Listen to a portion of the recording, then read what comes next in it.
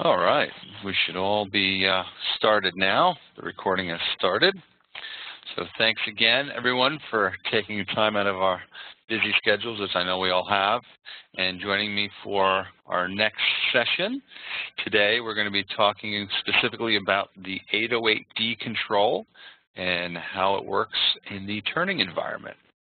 So this is going to be, this is intended to be a, um, a basic seminar, stepping you, a user, through how to set up a system as well as uh, do some basic programming on the 808D for turning. I am your instructor, Chris Pollock.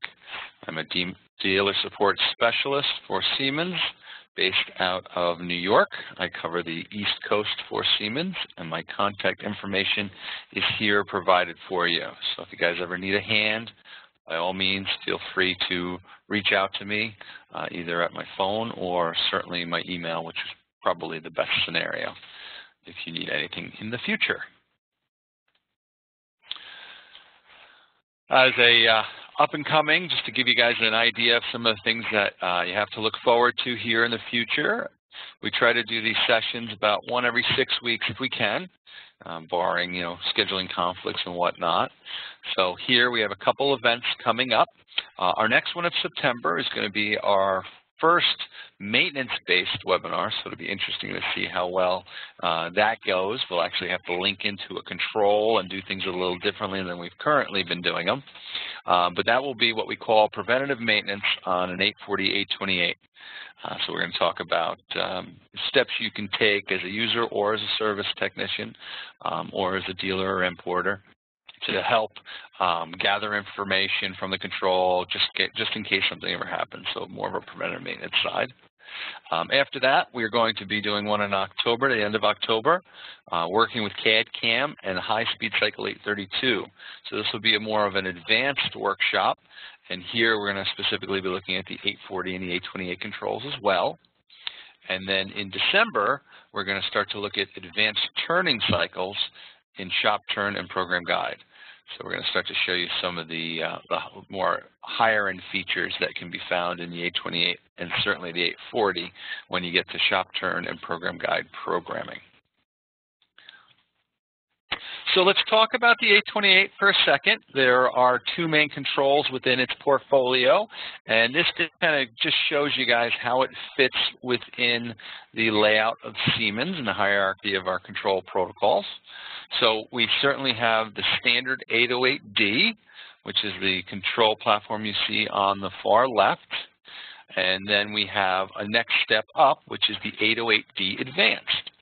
So everything we see today would apply to both the standard or the advanced system. From an operation and programming, aside from some added features, um, they're pretty much going to be identical, so you could transition between the two. Um, what's really the difference? A couple add-on features, which you'll see here in a second, uh, separate the advanced to the basic. Um, and that's pretty much about it. A couple hardware different differences in configuration. Um, then from there, in the product portfolio, you do step into the 828 Basic. That's our, our next series up. And then we have the standard 828D control. And then for our very high-end systems, we have our Siemens Sinumerik 840D. So that would be the total product offering within the Siemens portfolio. So to just give you guys an overview of, of some of the base differences between the 808D and the 808D Advanced, um, the 808D can control up to four axes, but up to four axes specifically viewing the spindle. So you're not going to run any more than than three linears or linear rotary combinations. Um, so it's really designed for a three-axis mill per se. Um, but when you get to the advanced, we can handle up to five axes, including the spindle. So here we could do, you know, a three-axis mill with a fourth-axis rotary table on the advanced system. So that would be a key difference. Um, certainly, the interface as to how we communicate with the drive is differently. Um, there's a what they call a pulse interface communicating to the drive module, which on the, the 808 basic is that V60 you see on the screen. When you get to the advanced, it's a full digital servo system. Uh, when with digital, you get all of the features and benefits with that. Advanced servo tuning, um, advanced features for surfaces and look-aheads, um, and there's certainly more software options. As far as the voltage side, um, the basic can run on standard 220 line voltage, while when you get to the advanced, since it is a digital platform, it does need to run on 400 volts. Um, you'll also see in the motor sizes, um, we have a much larger range of motors when you get to the, the advanced. So the basic will run from anywhere from a 4 newton meter up to a 10 newton meter motor. But when you get to the advanced, then you can run as low as a 1.9 newton meter, but go as high as a 40 newton meter motor. So it just gives you a little bit more flexibility in the range of the product offering. So, as I said earlier, this is a, uh, a, basic setup and programming seminar specifically for the 808D, looking at it from the turning side. We have in previous sessions looked at the milling. I wanted to take a chance to look at the turning side of the control. So we're going to get in, we're going to create some tools, we're going to create a part program, we're going to go in and edit it, simulate it, and even go through the running of a program. So from here, you should have a pretty good understanding of you know the full process from you know, powering up the machine, starting it up, right through to running a program in the system.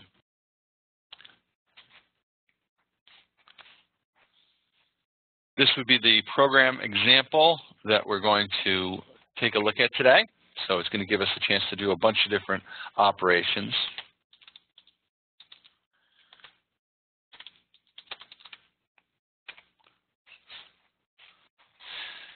I uh, was just giving a quick chat to one of our colleagues that was having some trouble with the audio, sorry. Um, so this will be the example we're going to do today. Uh, here we're going to get an opportunity to um, do a few different operations. I'm going to come in with the turning tool. We're going to face off the part, and we're going to turn this irregular shape, this OD shape. We're then going to select a grooving tool and put in a thread relief groove and then put a back groove.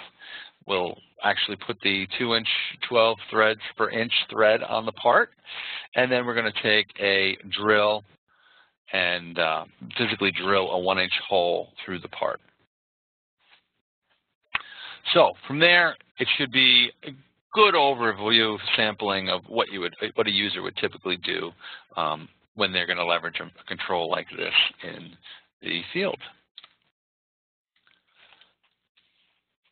So our first area that we want to start with is what we consider offsets and setup mode. So here we're going to start to talk about what you're going to see, and we're going to go through it um, in 808 on PC, what you're going to see when you first come into the machine, power it up. So the first thing you're going to notice, um, specifically on the basic systems or on the advanced systems that have incremental encoders, is you will be required to reference the machine. So referencing is really just a way of datuming the system so it knows where all of its offsets come from. Uh, there's typically some switches involved. The machine will move back, trigger a switch, and then find a pulse on its encoder. So specifically what you want to take a note to is on the jog pad, there's these two little circular bullseyes. That is signifying the home location. So on my machine, I can simply turn the drives on by popping out the e-stop and hitting reset, and then I physically jog each axis, and I'm using the button that has that little symbol on it, jogging it to towards home reference time, reference position. Um, the other thing these symbols can also kind of represent is for hand wheel functionality, if we want to select between the different hand wheels, that also is showing there. So here I would jog in these two directions to reference the machine. And what you're going to see here is when it first comes up, if it requires referencing, you're going to see that the little bullseye is going to be blank. There's not going to be any bullseye. And then as I start to jog the machine towards reference position, it, once it makes it, I'm going to get this little bullseye to come up. And at the end of the day, I should see two bullseyes once the system is referenced. From there, once we have it referenced, we can progress over to or move over to our jog system. The, the jog area will allow me to change tools, set some offsets, um, physically move the machine around. Um, certainly I could use a hand wheel or a jog pad. Since we're just on a simulator here, I'm only going to have the jog pad available to me. So I'll show you how to do everything using that jog pad that you see on the right side of your screen. Once we've gone through jog, we're then going to progress over to our offset table and talk about how do I create some tools. And I do have a few tools already created for our job. But we can build a couple new ones and just talk about tool definition in general when it, when it applies to the 808 control. We can also talk about the work coordinate system and what work coordinates are available if you want to move all of your tools. Um, historically in a lathe, most people don't leverage work coordinates very much, especially in you know what we consider like a teach lathe product, which is, you probably see this control on. So normally what you'll do is you will establish all of your tool offsets from your machine zero position. Uh, but it is nice having the work coordinates available to you. So if you need to move all the tools the same amount, you can do that through a work coordinate. So it's something we're going to take a look at here. And then the next step would be to show you a little bit about MDI and how MDI works. Um, you'll use a combination of MDI and the jog screen to perform a lot of typical operations that you would do maybe in a setup or you know, proving something out briefly within MDI, um, we have functionality like the load file or save file commands that certainly let me create libraries of little MDI programs, so I can do that. Um, I can just load any file into MDI I want, or vice versa. If I wrote it here, I can save it and make a little library of different um, MDI functions. From there, the next logical step, once we've created some tools, will be to set those tools up. And we are going to use the measure X and the measure Z functions for establishing the tools. So here we'll come in, we'll define some simple diameters, jog it around, or just find a linear position, and you'll see how it starts to write to the offset table. So we're now going to transition over to the live portion of our webinar. So let me just uh, switch over to that application. So what I'm bringing up here right now which we should all see on the screen, is what we call 808 on PC. An 808 on PC is a free offline machine emulator or control emulator. Um, a little more than just offline programming because it allows us to do everything we could do on the machine tool on the PC. Um, so if you simply go to our website, you can actually download the 808 uh, D on PC simulator and you have it available just like I do. Free of charge. So when we first come in, I'm generally going to see the reference point screen first. Now, I know I'm at reference point first because in my upper left-hand corner of my navigation window, it tells me I'm at reference point. I see that right up here. But more importantly, if I look at the reference point button, there's a big orange light on top of it. So this is giving me an indication that I'm currently sitting in my reference screen. So when I come into the system, you see that my bullseyes aren't checked. I do need to make sure I have some form of a feed rate, so I'm going to crank up my override. Generally, if I first power up, I want to just try and bring my spindle override to some valid position. And now I'm going to jog, and I'm going to jog in the direction of my micro switches. And certainly that could change based on the builder. In this case, I want to move my X in a plus direction, my Z in a plus direction, and I would just initiate this until the system comes back. So it's a single axis at a time. I could do either order. Um, generally, you want to be conscious of potentially a collision point, especially on lathes with tailstocks. So I would normally jog the X all the way out to its reference position first, and then jog my Z back. This way, hopefully not running into an issue with my tailstock if I have one. So once the machine has been referenced, I now can go over to the jog screen by selecting the jog button. The jog button is just to the left of reference point, and you'll notice as I hit the jog button, the indicator now becomes orange, and then the top navigation portion of our screen, I still have the M. The M signifies machine mode, but I'm now in jog. So if I want to get back to reference, I can hit reference, I'd be back there, it would maintain its bullseyes. If I want to go to jog, I select the jog. Now, one thing to note with the reference point, if you have an 808 basic system or the standard 808, whenever you e-stop the machine, you will be required to re-reference it. If you have an advanced, then the system will maintain reference until you physically shut off power, or in the advanced, you also can have absolute encoders. If you have absolute encoders, you would never need to reference the machine. So those are slight differences between the two, two control portfolios. So when I first power up, I do want to be conscious of the axis display that I'm looking at and what these values mean. So if I look at the, just above the X field, I have a, a little indicator says MCS, Machine Coordinate System. So these values right now, as I move the machine around, so if I pick my jog, slow my override down, and I start jogging my Z or jogging my X in some direction, right, either way, wherever I'm going, those values here currently are relative to that zero that I referenced to that machine coordinate system. So if I want to view these numbers based on maybe some of the offsets that are active, in this case my tool 4 is loaded, I do have to select the WCS button. And you'll see as I toggle between the two, in this case my X value changes. So it all depends on the offsets that I have active for myself. But WCS, and generally that's what I'm going to select right when I first power up the system, stands for Work Coordinate System. So this is now taking into account all the offsets that potentially could be set for a given tool. Okay, so we come in, we start moving the machine around with our jog pad or our hand wheel, depending on what we have available to us, and we'll start to see our display change, our, our numbers change.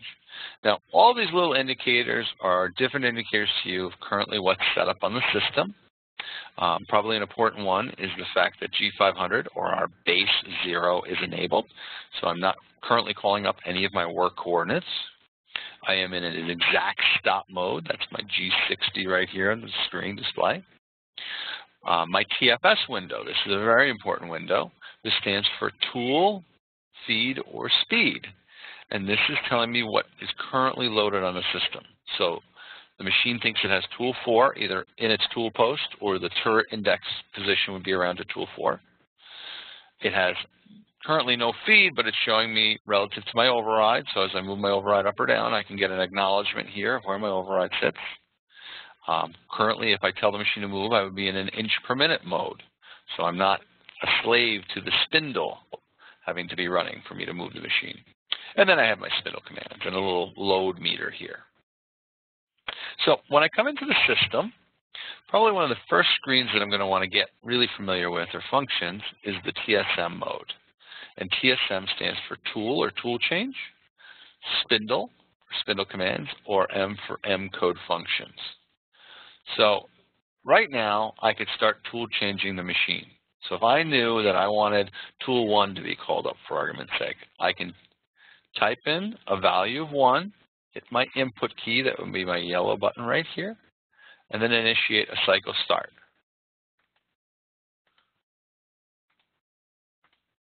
Once I've initiated the move, you will see in the TFS screen, tool 1 is now selected, and then I can change from there. Then you can move the machine out onto a new location, input the next one, acknowledge it. This is just telling me I'm not in a safe state because I haven't put the machine in a current location where it would be possibly safe to, to tool change.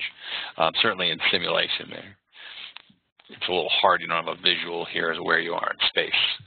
So you can start using the tool change function to start to select different tools, and this is important once we go to start setting the tool offsets.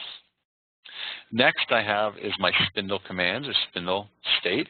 So if I wanted my spindle to be running right now, I could give the machine some RPM. Now when I come down to a field and I see this little horseshoe, that means that I use the select key right here between my arrows to change the function state. So do I want to run the spindle clockwise? Do I want to run it counterclockwise? What am I doing with the spindle? So I'm going to run it clockwise. Cycle start. Now my spindle is turning in a clockwise direction. System is currently running.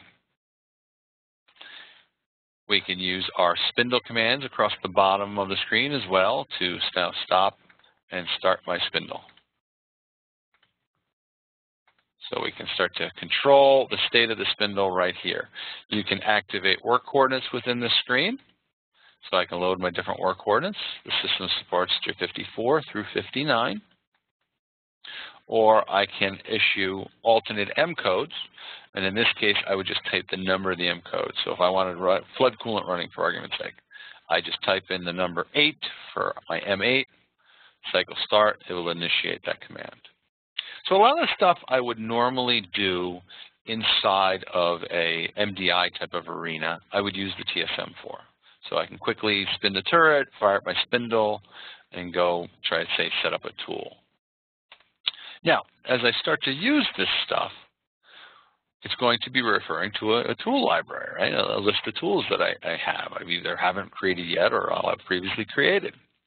So in this case, if I go to the offset screen by hitting my offset button, offset will put me to the offset tables. And we call it offset because it's not just tools, but it's all offsets. So it's tools, toolware, work offsets, user variables, a whole bunch of stuff in here that I can see. But the first thing I'm going to see when I come in, in this case, is my tool list. And I, I know I'm on my tool list because the button itself is blue.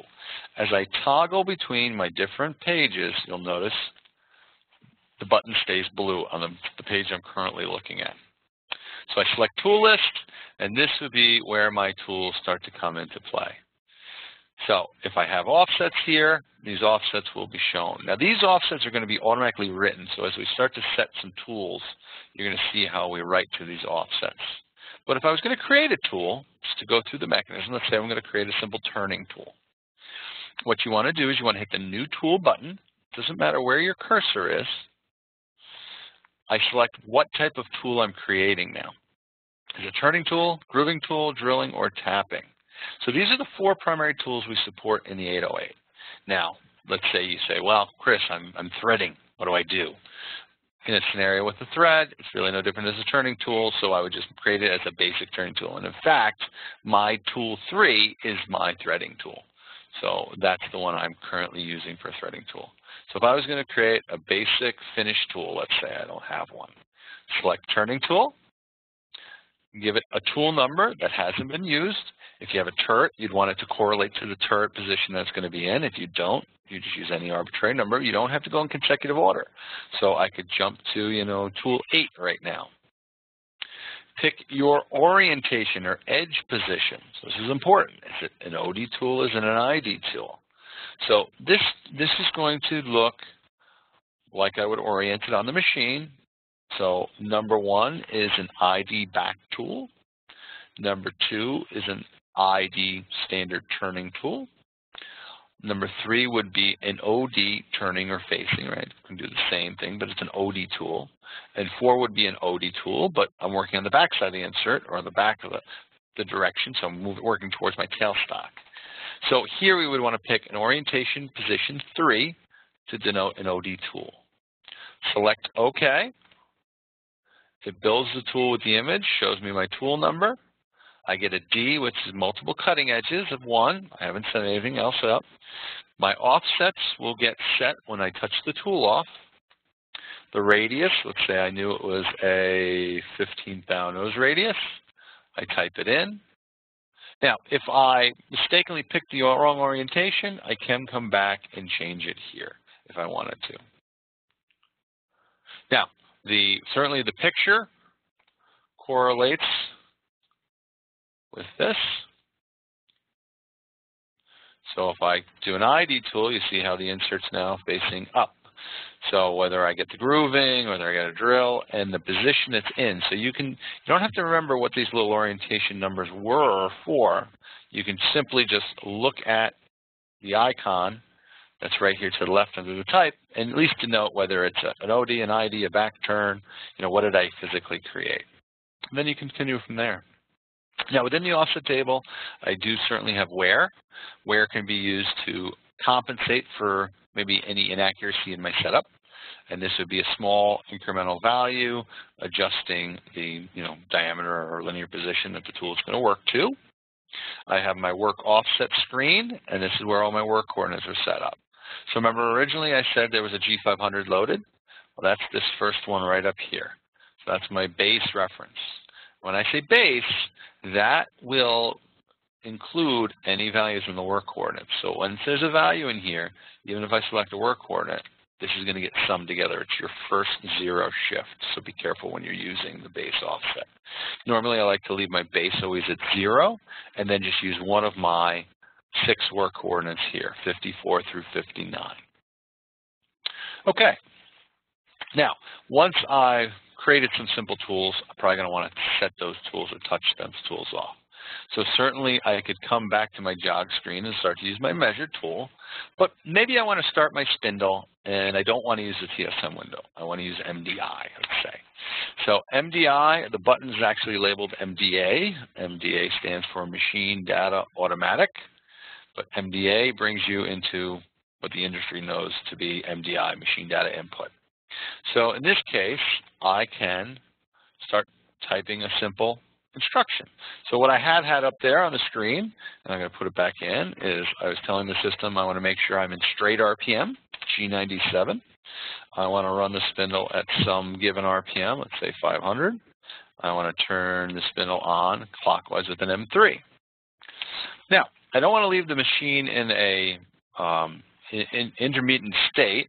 I want to let it reset when it's done, so I want to end this little program. But I want the machine to continue keeping the spindle running.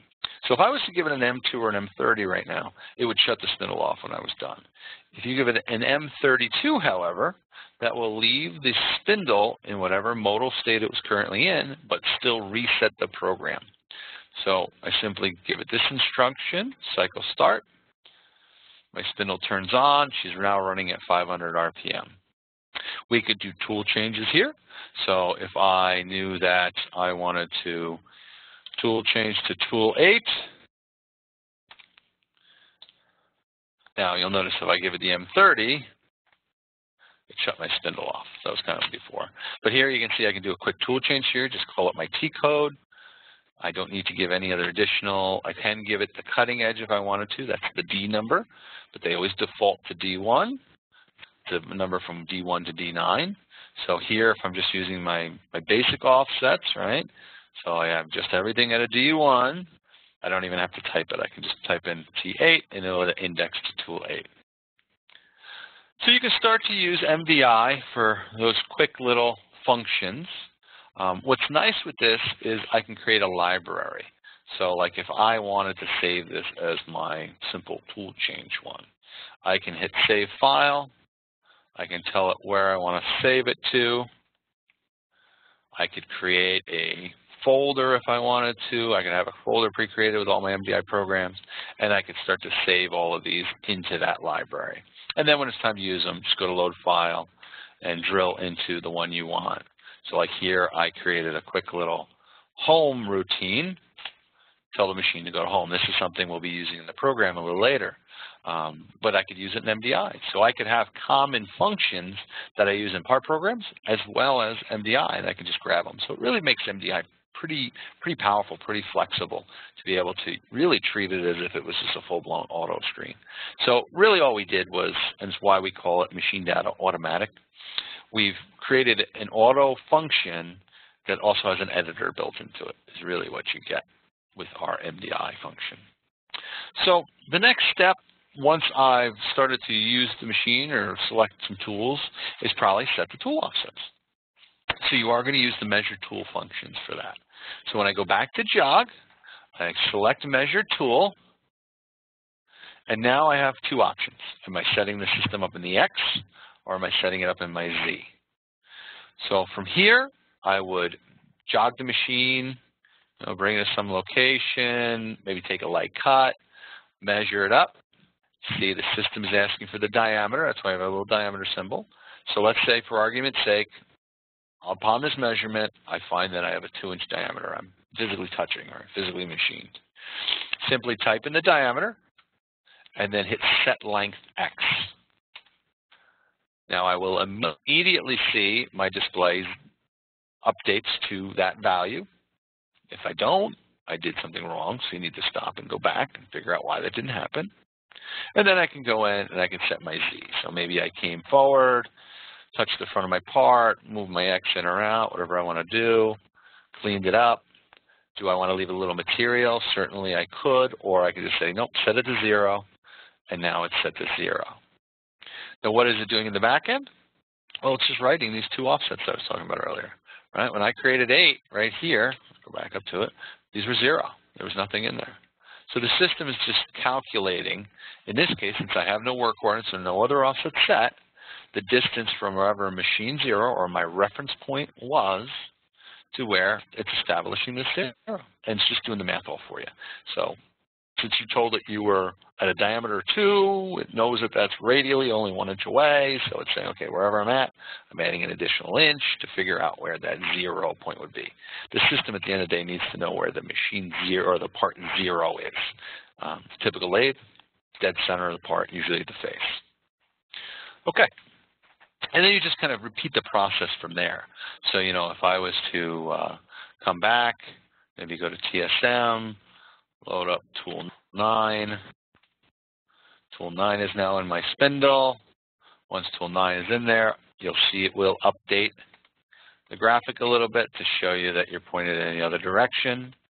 So here I would probably have to have some hole already in my part, and then I'm just bringing the tool into the ID of the part, come back, measure the ID, type in whatever that value was, set length, again, it's the same process. Z, you know, maybe I'm touching the front, a little gauge block, a little shim block, and you just repeat the process. For drills, threading tools, it's all going to be the same basic process.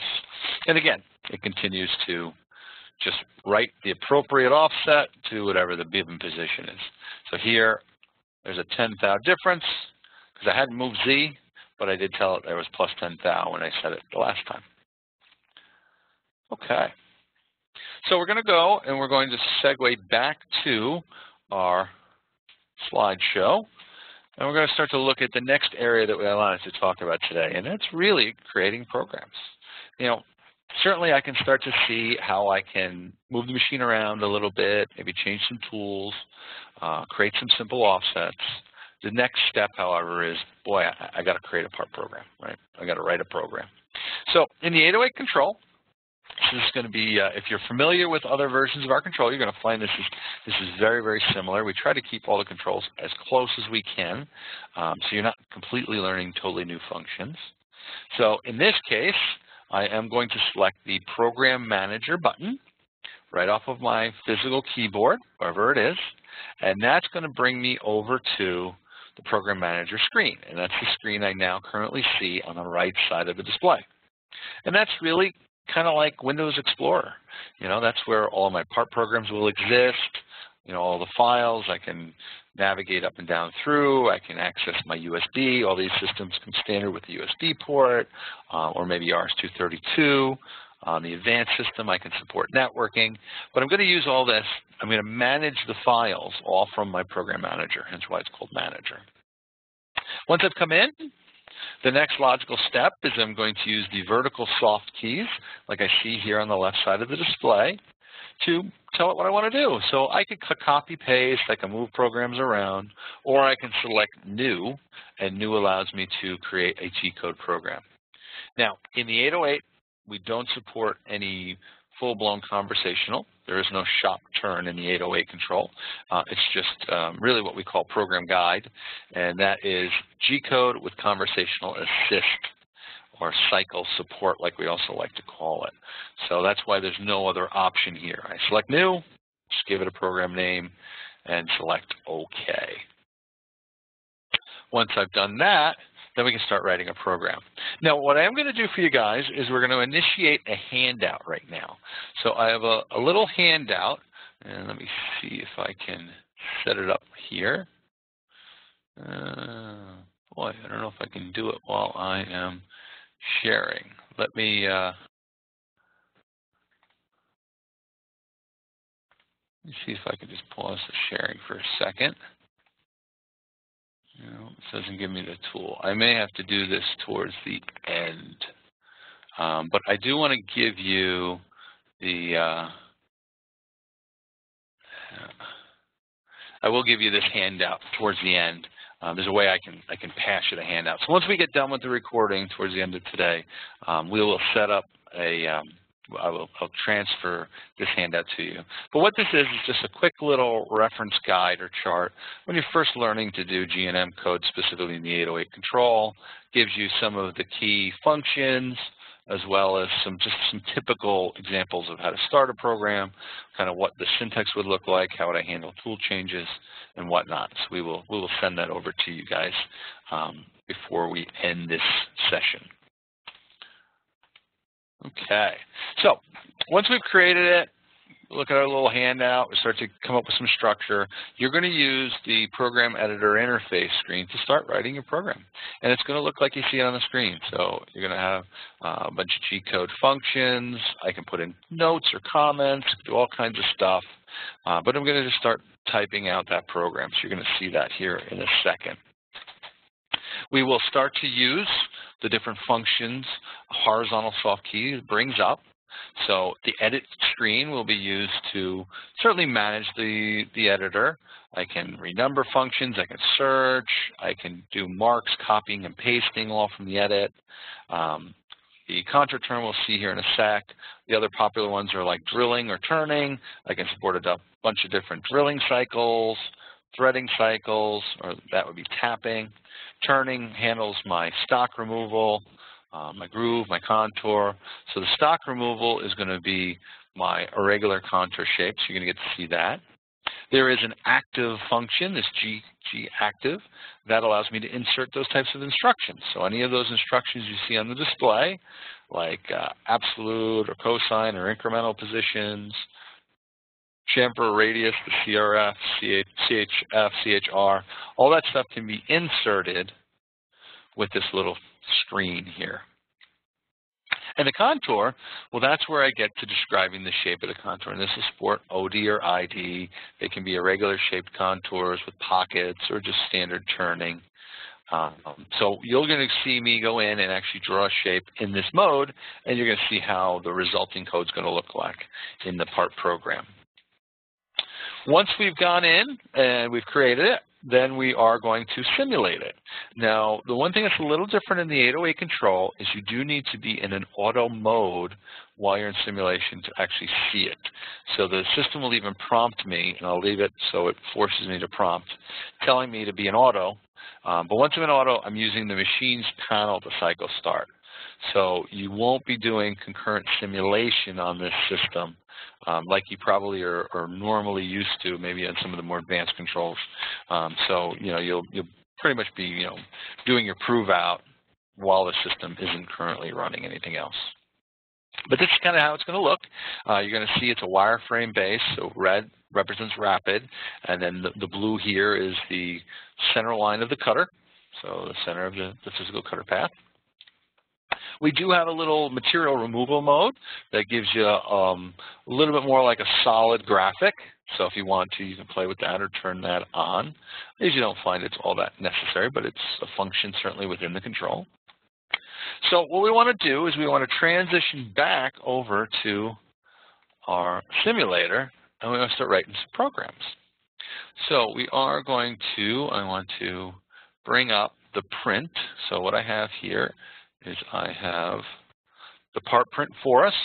So just so you guys can kind of keep it kind of fresh in your mind on the shape that we're going to start to create. So like I said earlier, I'm going to select my Program Manager function, and that's going to bring me over to the Program Manager area. So in here, I'm currently in the NC. So NC is anything that resides physically in the machine control. So anything that I want sitting on the machine in its memory is going to be under NC. There can be folders, so I can create folders and subfolders and do all that kind of stuff, or I can just have files right here in the root of NC. But I can also manage USB sticks, so I can jump to the USB and I can copy things in from the USB, bring things back over. Uh, if I needed to, I could execute from the USB. Um, I have RS-232 capabilities, um, user files, that allows me in this case to get out, is really handy on 808 and PC, to get out to my entire hard drive. So if I wanted to go to my current PC's My Docs, I can drill into it. So you're going to use this to maybe bring files that you played around with on 808 and PC back out to a shared folder or a common folder on your PC. And then I certainly have all of my vertical soft keys. Sure. Cut, copy, paste, mark. Mark allows me to highlight multiples. So what we're going to do is we're going to create a new program by selecting new, and we're going to give it a name. And we support letters, numbers, and underscores. So if I wanted to call it, I'm going to call this, um, I don't know, OD, uh, let's call it OD turn, oops, OD underscore turn one.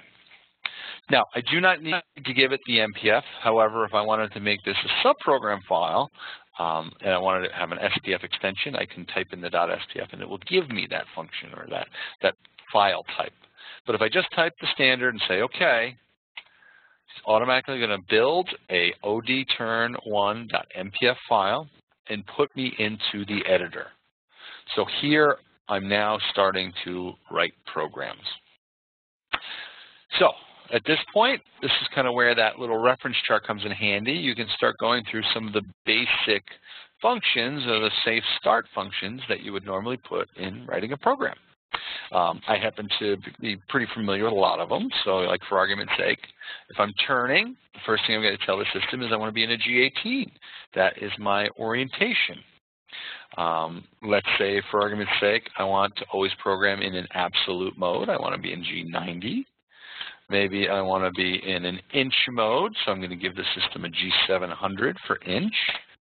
And if I wanted to use a work coordinate, I could certainly type it. If I'm not using work coordinates, I don't have to give it to them. So I could start to type this command. I hit enter or input on my machine's keyboard. We'll move my highlight down to the next line and we can continue from there. So let's say the next thing I want to do is load tool 1. Type in T1. Now, if you start using multiple cutting edges or multiple offsets, quite handy when you have uh, combination tools, um, then you're going to want to get used to using the D numbers. So it's not a bad idea to get in the habit of always giving it the D1 and then as you start to use different offsets, they're called cutting edges. You can build multiple offsets in the offset table. You can just toggle through them with a different D number. Um, you can certainly give yourself some notes. So it's an 80 degree turning tool, and then you can build it from there. So anything after the semicolon is a comment. So it's not going to read that as a given instruction. Now, one handy command to get used to if you want to run straight RPM is G97. Um, this way, if the system already had a G96 constant surface speed issued, it would cancel that.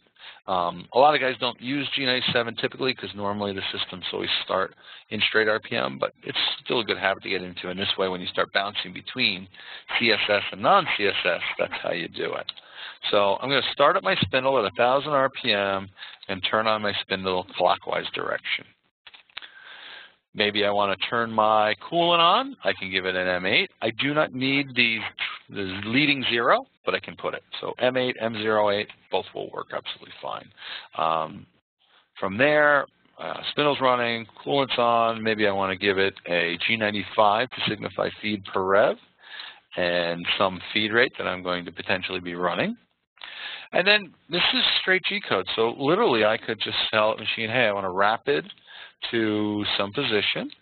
So I'm going to rapid to an X of 3.1. In this case, if I looked at my part, we'll say that the rough stock is 3 inch. And I'm going to rapid to a Z0, so just off the part, right on a line with the face. And let me say I'm going to do a simple facing cut. So I'm going to use a G1 for a feed move and tell the system to come to, I'm just going to go to like negative 30 thou, a little bit past. So I just fed down the face of my part. Maybe I'm going to pull back off the part and then rapid. So we're going to go to a G0. And G1s, G0s, they're modal commands. So once you've turned it on, you don't have to keep repeating it. So that's why on the Z.1, I didn't need to give it the G1 again. So here I can tell it, now since I'm switching to a rapid because I want it to move fast, I can tell it to go to an X of 3 inch. Um, you don't need the decimal point. You don't need the trailing zero. I could just type 3 as well. Either one would be fine. So if that was the basic program, you could literally do your shutdown, give the system an M30, and continue uh, continue on. We could we could go. We could we could simulate it right now. So I could certainly hit the simulation button. Now see here it says please switch to automatic. So I need to hit automatic there. I'm just going to scoot this off the screen a little bit so I can get to my keys. My override is going to control the speed. Cycle start's going to initiate the motion. We can zoom in. So here, and we run it again. I'll delete the window. So from wherever she was sitting, fed down, fed off, rapided back to a start point. So we can start to get some conceptual as to whether or not this is kind of doing what I thought it was going to do. So she positioned over, fed down, fed off, rapid back. And then we can kind of continue from there. So if you look at the part program, the next thing I would most likely want to do is turn this outside shape. So to do that, I'm going to go over back to edit by hitting the edit button. That gets me back to my editor. And now I'm going to continue moving on. So right now I'm just going to delete the M30 for, for this case. And what we're going to do is we're going to use our first turning cycle. So if you select the turning function, you have stock removal. That allows you to manage turning OD or ID and facing. I have grooving for putting grooves in, so we'll do that when we use the grooving. Uh, there's an undercut function if I wanted to put in a specific undercut profile behind the thread. I'll use thread for single point threading, so we're going to get a chance to use that in the job. And there is a cutoff cycle if I was going to use it to cut off the back of my part. So for handling a part like this, certainly there's a lot of passes and it's a regular shape. So what I'm going to do is I'm going to simply hit the stock removal function. Once I go into stock removal, now I'm going to fill out the page and we're going to create the routine. So the first thing I do is I'm going to name my contour. Um, so I'm going to give it um, a name. So I'm going to call it SHP for shape one. Um, couple rules here when you get to names. Uh, you don't want to use any machine-specific commands in the name. That'll goof it up. So, you know, I don't want to call it like um, Z1 because that would be a linear position, or SP for spindle. You know, so so you want to kind of make sure you pick a name that that doesn't correlate to any type of command in the system, or that can goof you up a little bit. So I'm just going to use SHP1 for shape 1. This way I can build multiple shapes, and I can call it shape 2, shape 3, shape 4. Now once I've hit the input key, before I fill out the rest of the page, I want to hit the attach contour button. And what that, that's going to do is that's actually going to put me right over to this base editor, and now I get the contour button. And see what the system did? She just created a little label for me with SHP1 and SHP1 underscore E. So kind of beginning and end. So anything encapsulated between these two is going to be what's the shape that's associated with that cycle. So to create the shape, I could try typing the shape right now if I wanted to, but I'm going to use the contour editor to draw the shape. So I go to contour editor, and I start filling out the page. So it asks me, do I want diameter mode on or off? So here I could select between the two. A couple different options. We want to use diameter mode on. That means all of my x values are going to be applied as diametric values. Give it some starting point. So I'm going to start at my 2-inch diameter, the OD of the thread. I'm going to start at Z0. I want to approach in a rapid so I can come as fast as I, I want when I'm first getting in. That's fine. Now this transition to next element, this would be at the beginning of the function. So do I want to do a chamfer or a radius? What is the size of the chamfer or radius? And what is the angle it needs to exist at? So a lot of times, you know, I may not be 100% sure what which angle I need. So I will fill out this first, and then I'll give it my next element. In this case, I'm doing a Z move back to look at the print right here. You know, I'm starting at this position outside. I'm going to move back to the shoulder back here. So I'm going to move out to 1.150 uh, minus 1.150. So now, once I've accepted it, if you click your little arrows button, I can move my cursor around and I can start to see more or less of the shape. So here, and if I shut off the selection. I can arrow up. I can see my chamfer. So that was that lead-in chamfer that I gave it. So if I got the direction wrong, it might not have seen anything or coming down the wrong angle. So you can validate your input real quickly by putting the next element and then kind of zooming back. And you can then go back to an auto zoom and I can kind of build it from there. So a lot of times I leave it on auto zoom, I let the shape start building, and then I can go back and look to see if I like it. Okay, so I moved back to this corner. The next move is going to be a two-axis move. So always keep track of this little orange indicator on your left side. That's where you are. So it's always going to insert below that. So I just want to be careful I didn't leave my indicator up top because it would now insert an event between these two functions, which I certainly don't want. So I leave it sitting on the endpoint line. I hit the X for a two-axis move, and then I start to tell it where I'm going. So according to this print, I'm going to two and a quarter, and I'm going all the way back to a z of minus 1.75. So that gets me back to this position. This machine is commissioned as a rear turret, so you see um, I'm showing the, the, the, top outside of that shape. Um, I don't have any end transitions, no radiuses or chamfers here, so I can simply hit the accept element.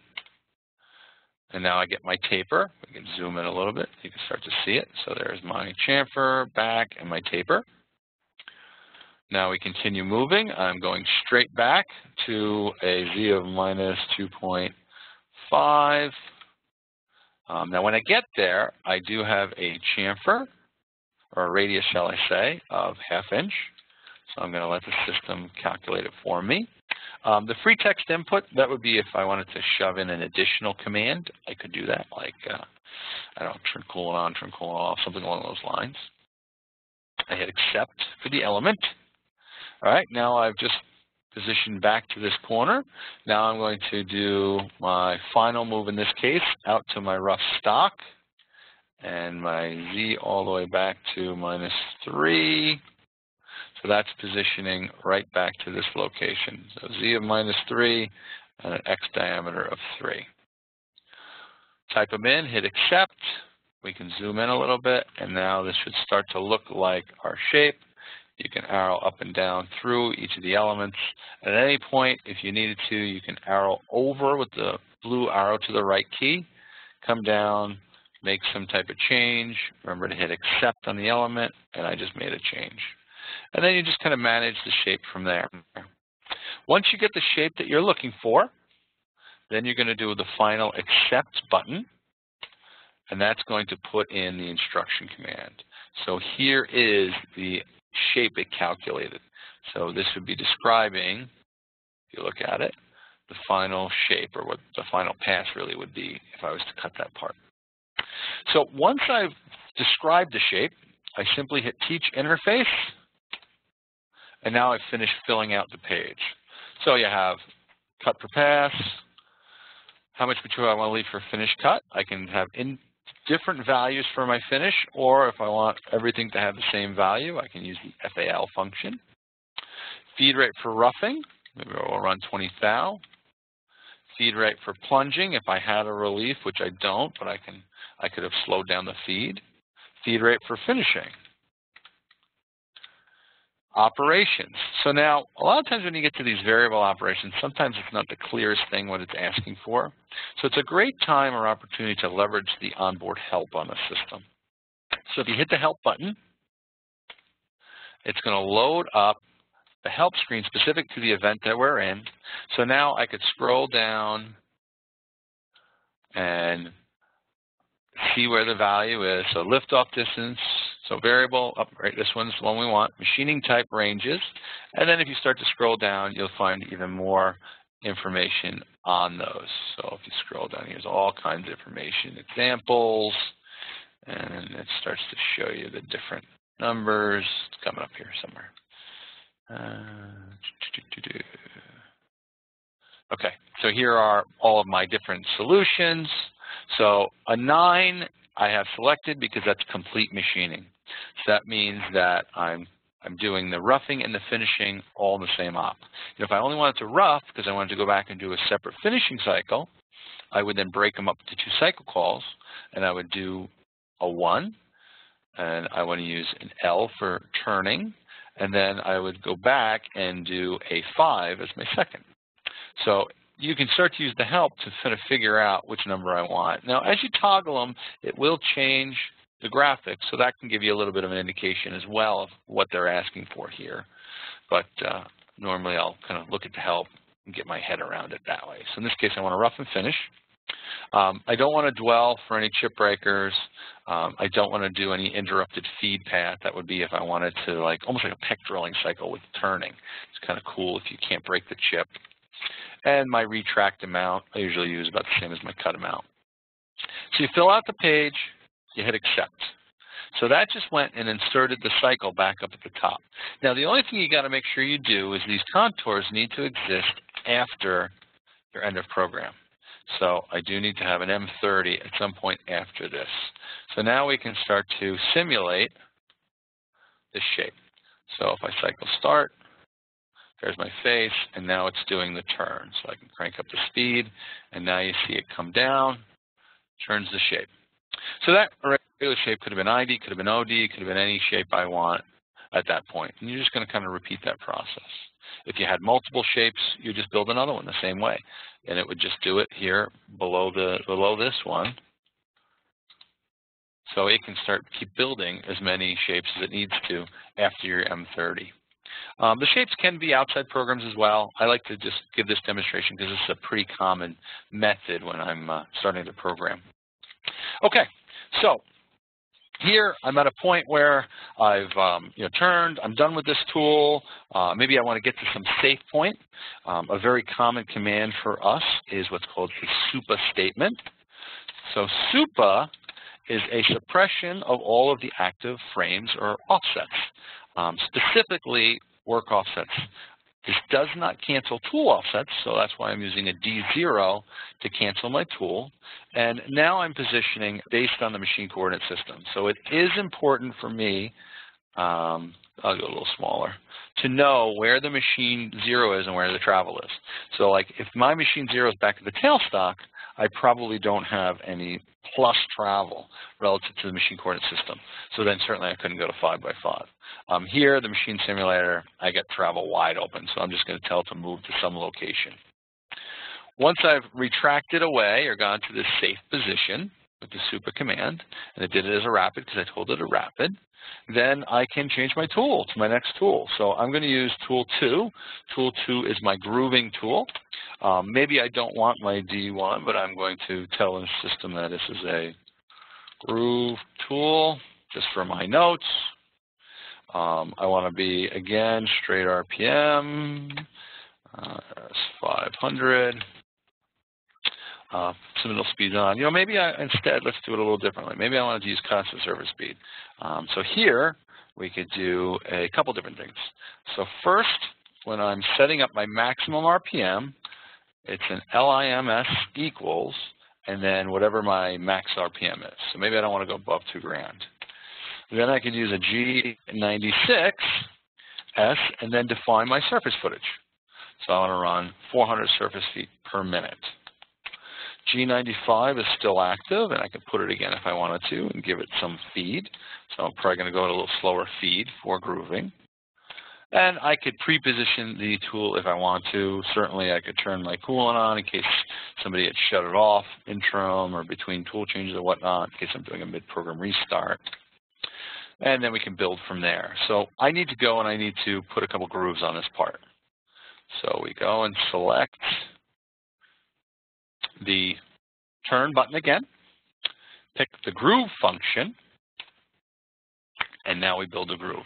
So the groove cycle supports groove OD, ID, on tapers, on straight, and it's all combination, comes into play with these variables down here, um, and then it's really just kind of filling out the page. So in this case, my starting point along the facing axis is really my OD, right? So my starting point in this case for this groove is going to be 2, right? My starting point in L, this would be my longitudinal axis, so this is my starting point in Z. Now, I can look at this and I can start really on either side of the groove. And I'll define later what position I kind of started from. So maybe I'm working everything from the right side. So I'm going to tell it my starting point's a minus 1. The width of the groove I have in this little notation of 150 thou. So we got 150 thou wide groove, and in the same detail, detail C, I have a depth of 0.1. It's an unsigned value, so the system knows your OD or ID a little later. Um, do I need any angle or not? You can even see right here, it gives you some little notes. So 0, straight, or 180, 90 would be face. So certainly I don't have any angle, so I can give it a 0. Do I have any angle on my walls? We can leave them blank. We could tell it I don't have any angles, so I'll give it 0, 0. I can control whether I do a radius or a chamfer, and the way I denote these is with a plus or minus. So if I give it a minus sign, it will automatically build a chamfer. And if you go into help, it'll explain that to you. So I'm going to do a chamfer, and let's say I'm going to do a chamfer of 50 thou. This is the back relief of that thread. And then the rest of them, I don't want anything. So I'm just going to zero them out for the other four. Finish allowance, so I'm going to leave 2 thou 2 thou. My IDEP is my peck amount, so I'll use 50 thou for a peck. Dwell at the bottom of the groove. And now I can control and see where the little black dot is. It's very important. So by using my select key, I can control the orientation of the groove and where my position data comes from. So that's what a little black dot is. So I want to make sure I'm using a 5 because remember I programmed it from the right side of the groove. So it's then going to take the width and make sure it goes to the left for the width. Variable retract path for backing up, we'll do 50 thou. So I fill it out, I hit accept. I just saved the groove. Now, I have two grooves that are almost identical. So instead of having to build the cycle all over again, I can go to edit, I can turn my mark function on, I can highlight the cycle, copy, paste. And now, any of these cycles, if I simply hit the recompile button, allows me to re-edit them. So I know the next groove is at a diameter of two and a quarter and at a Z position back of minus two. I know based on the print here that it's a 300 thou wide by 150 deep. So we can update that. And really, everything else should stay the same except maybe these chamfers I don't want anywhere near as big. Maybe I want a nice little chamfer break on those two, but the internals I'm going to leave square. Okay, so fill out the page, hit accept. We can now go to simulate it and see if I had any typos. And I personally always like to simulate in stages like this. So this way, if I do have an issue, I'm not trying to debug the whole program. I'm just working on one simple area.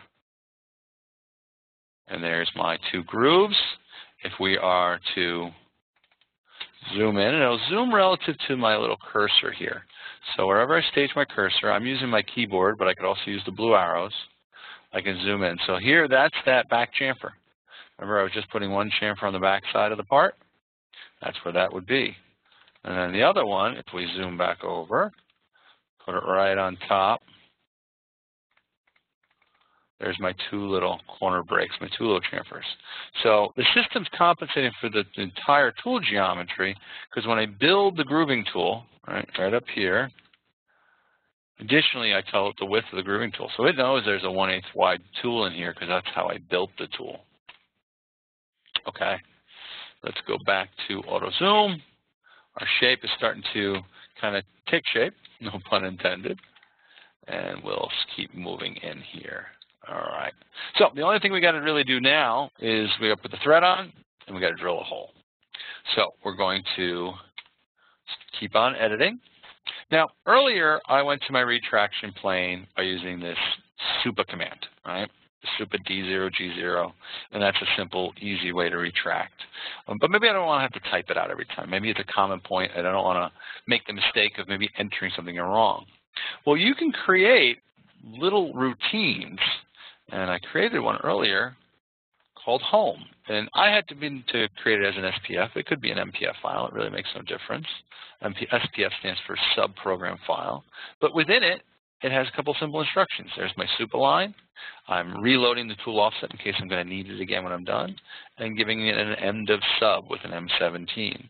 So I fill out this little cycle, and since the cycle is sitting in the base folder that my part program is, which is uh, OD turn 1 right here, all I have to do is type the word home now, whatever the name of that program was, don't need the extension, and it will do that instruction. So now it just sent it home, so I don't have to keep doing that all the time. Uh, T 3, D1, this will be thread. Maybe I'm going to go back to straight RPM, spindle RPM, turn on my spindle. Maybe I want to have, um, you can do um, multiple M codes on the same line if you wanted to. Um, turn on my coolant. Once my coolant's running, um, probably ready to get to my thread.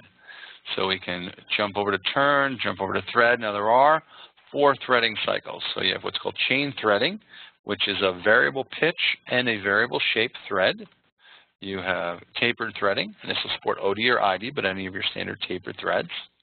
You have face threading, threading in the x-axis, or you have the standard long threading, which is what we're going to use. So from here, really just fill out the cycle. So the starting point, all right, so the thread starting point along the longitudinal axis, so obviously longitude they're referring to as Z, the long axis. So it's starting at zero. The major diameter of my thread, the thread point, the thread end point on the longitudinal axis. So on my little part here, we'll bring over this drawing for you. Um, the back shoulder is 150. I don't want to quite go right to that with the threading tool. Give myself a little clearance. Point, so 125, let's say. Um, I don't have a different diameter at the end. If you had a little taper you had to compensate for, you could. Uh, thread run out path in the beginning. I like to give it about one lead of the thread, if I can.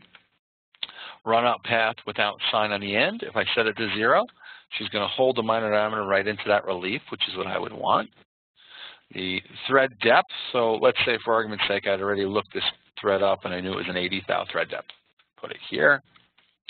Finish allowance, maybe I'll take 2 thou for a finishing cut. I have an in-feed angle. It's like that compound angle. So, you know, any of us are old school guys that ever threaded on a manual lathe and you had your compound at 29 and a half degrees, that's what this is. So normally you use half of the insert profile. So in this case, I got a 60 degree threading insert, so I'm going to use an in-feed angle of 30 degrees. So way it'll ensure that it's working on the front of that edge. Um, NSP, starting point and orientation. I don't need to clock the thread, so I'm good number of cuts. So maybe I know that I want to take six cuts to rough it out. And then I'm going to take one spring pass. That's my NID, number of non-cuts or spring passes. Uh, thread pitch. Okay, so this value here will be controlled by a parameter a little later, you'll see. So we're using 12 threads per inch. And do I want to do constant depth or constant volume? So I can change the ODID and then constant depth. How the lines are the exact same? Constant volume means it's going to keep reducing its depth to maintain its chip load based on my six position. So you kind of got to, you know, kind of play around with that factor a little bit. All right. Number of threads, if I had a multi-lead, I can handle it here. My retract, about 100,000 should be good. And down here, as final, you see how it says one is for millimeters, two is for threads per inch? I need to make sure I put this at a value of two. And that is what told this PIT field to support threads per inch. So you fill out the page, you hit accept, threading cycles in there. From here, we're going to reference the machine or reference the carriage out of the way. We'll put our final drilled hole in. So we type in that, we type in our T4, G1, make sure we're running at some RPM. Maybe I want my coolant there. Um, G95 feet per rev, and maybe I'm going to be running at a feed of 4 tap rev on this drill. And I'm going to roughly pre-position my drill. We can use drilling cycles, so there's just basic centering, there's deep hole drilling, boring, so a whole bunch of different cycles here. So I'm going to do a simple drill centering, retract point, go to 100 thou when I'm done. Reference is where I'm drilling from, my plane. Safety distance, how close I want to get to it before I start feeding. My drill depth, I don't know, maybe it's minus 3.5. So I'm going through the hole, and I don't want to dwell. So we fill that out. Now, one thing I neglected to do, because I'm moving kind of fast, one thing you do have to do when you go to drilling, it's a little unique, is you're no longer in a G18 plane in drilling. You're actually going to switch the machine to a G17 to support the drilling cycle, or it would give us an alarm. Once we're done drilling, we're doing a single hole, certainly just the center of the part. Um, if I want to, I can switch the system back to G18. Um, I could shut my spindle off, shut my coolant off, maybe send the machine to that home position, and away I go and end my program. So if we do a final simulation, and we run this one last time, we're going to see the rest of the contour, our grooves, our thread, and the drill doesn't show a whole lot because it's just drilling at the center.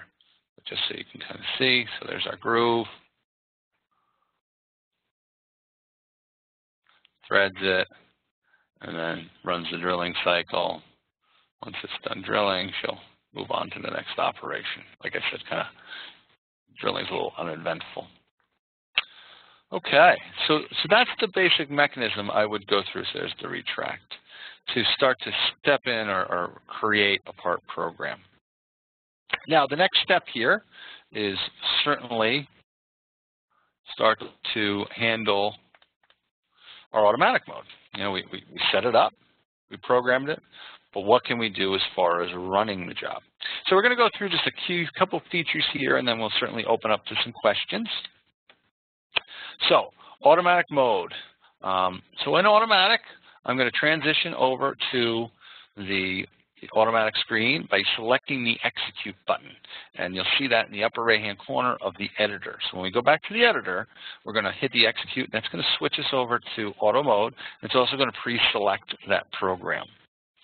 From there, we can do real-time simulation if we like, and then this is the same base graphics that you've been using, but now it's matched to the machine. So as I stop the machine, the graphics will start. As I crank it up, the graphics will start to move. So I'm going to use real-time simulation to handle that. From there, what, do I, what happens if I want to start in the middle of a program? Very common scenario. So the mechanism, just like we support in other controls, is going to be triggered through block search, but the function is going to be slightly different. So when you hit block search, we're going to jump you back to our standard editor. You're going to scroll down to the line at which you want to start from, and then to use one of the vertical soft keys. So you're going to pick either to contour, to endpoint, without calc. And that tells us how we want to handle where the start is. So really the big ones you're going to use is either um, to contour to endpoint, that's with calculation. So that means the system's going to scan to that point and set up any modal commands that would have occurred prior to the starting point and make sure they're on. Or if you're starting from a safe start point because you already built the program with that in mind, you can do without calculation and it'll just start from that point. The other thing we want to look at is um, secondary search me mechanism. So here, you know, kind of what it looks like once I go to start. Um, once I've started it, you're going to see there's going to be a two cycle start, cycle start hit. So we're next going to see the continue program with an NC start. Once you do the final cycle start, she's going to continue cutting or continue to cut. Um, another really handy feature is what we call return from jog or our REPOS mode. So what that lets us do is in the middle of a part program, I can initiate a cycle stop like you see here on the top of the screen. I can hit the jog button. I can move the machine to some staged area. Once I'm ready to start again, I can select auto again and hit cycle start. That will automatically, as long as I haven't hit reset, will automatically position me back to the point which I stopped at. It's going to vector there, so it's going to go shortest path, and then continue cutting. So we'll get a chance to do that real quick.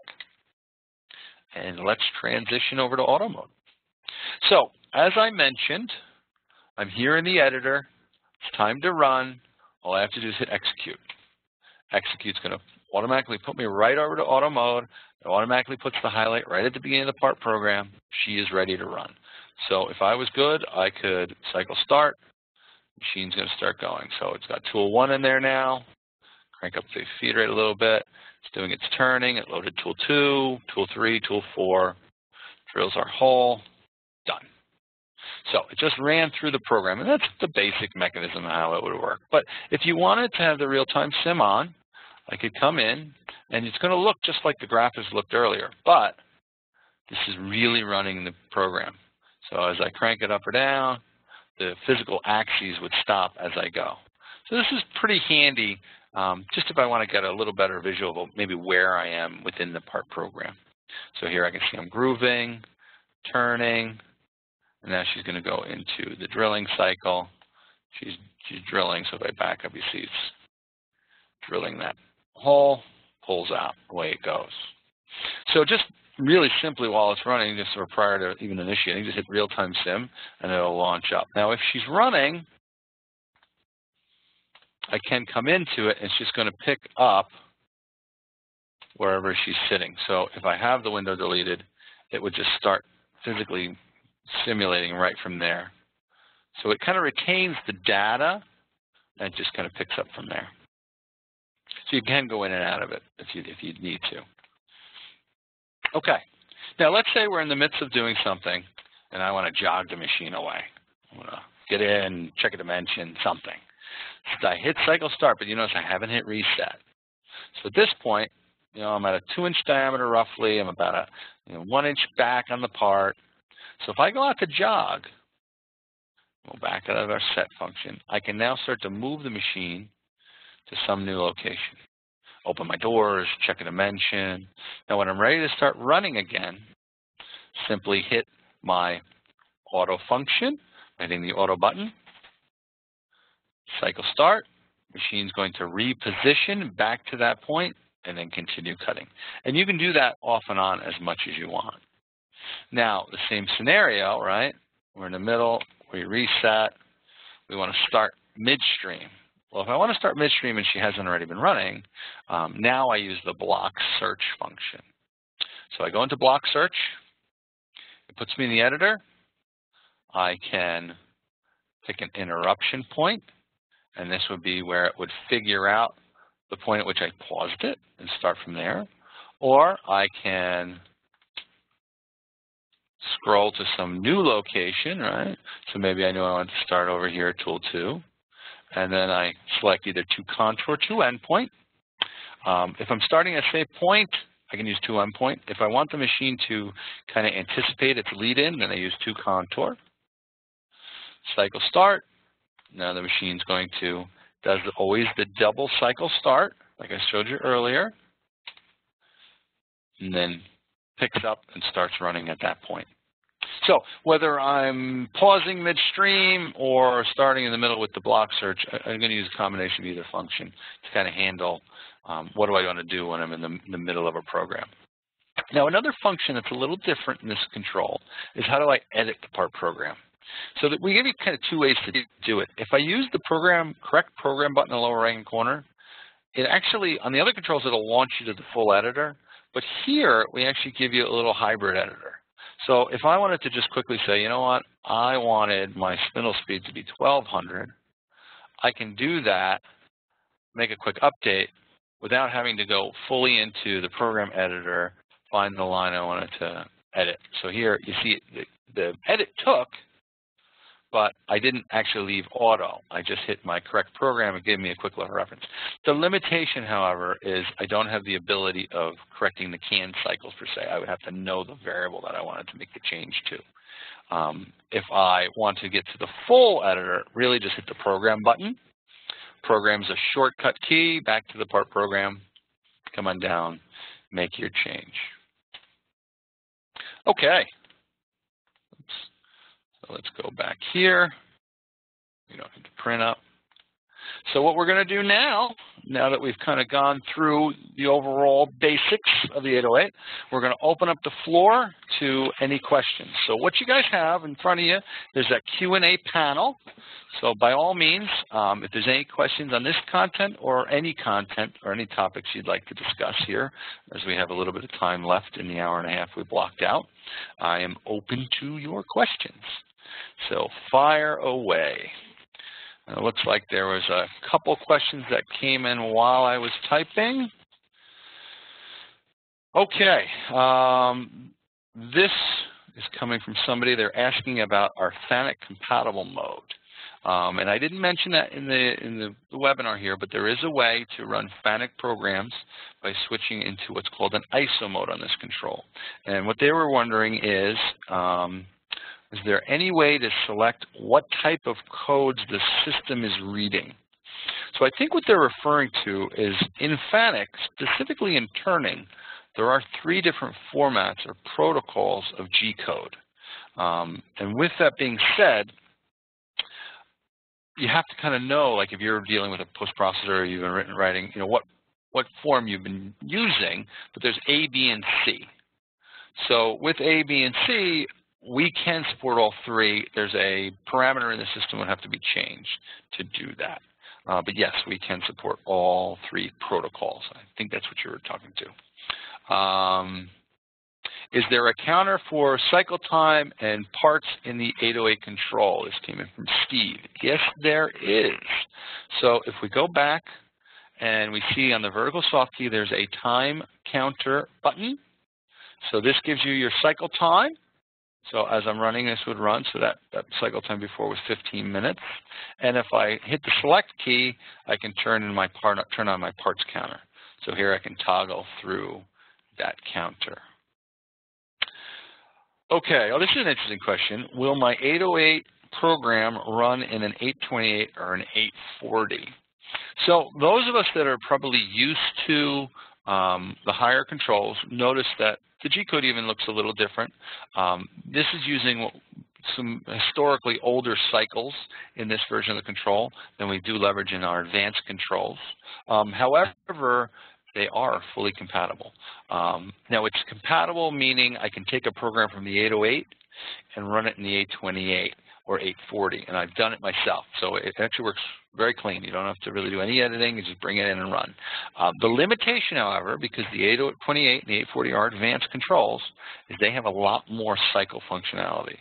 So if I'm using cycles programming in, in the 828 or 840, I'm not going to be able to bring the programs back into the 808.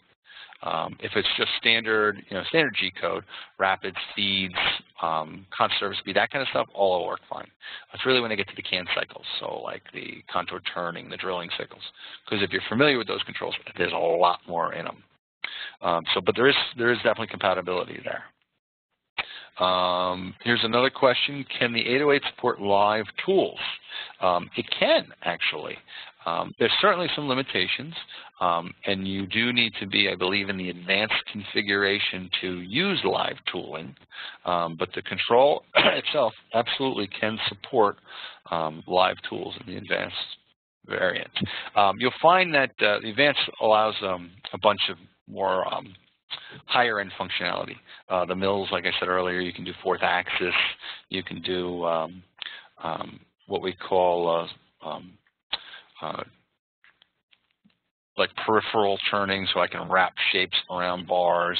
Um, it's called a tray cell function, transformation cylinder functionality. There's a bunch of added advanced features you can get to um, on the um, in the advanced the 808 advanced function. Uh, so yes, all right. Any other questions for the group? Great. Well, I'm going to stop the recording here, and then I want to hand out the uh, the handout I was giving everybody. So let's